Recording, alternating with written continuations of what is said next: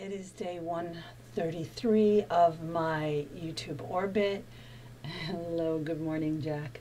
And it is the final day of 40 days of thankfulness, which actually turned out to be 47 days of thankfulness because it is Thanksgiving Day. I am thankful for the ability and the awareness to be thankful, for the ability to recognize my blessings and be grateful for them.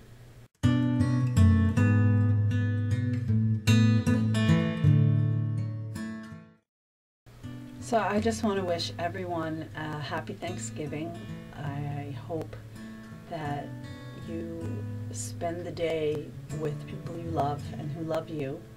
And I want to finish my 47 days of thankfulness with also saying how much I'm thankful for YouTube and my very interesting, wacky friends here I'm really thankful for my family and my husband and my Jack.